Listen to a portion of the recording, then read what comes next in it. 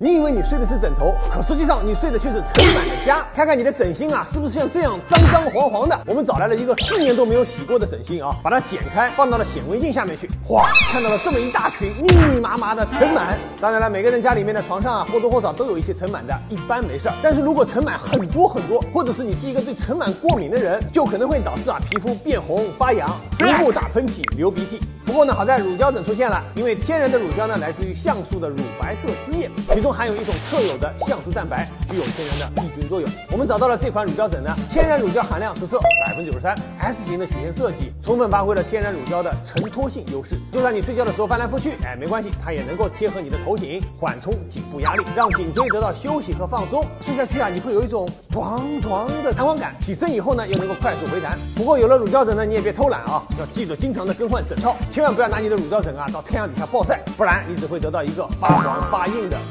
晚上睡好，人生美好。趁着双十一啊，赶快给自己安排一个睡觉法宝。抖音。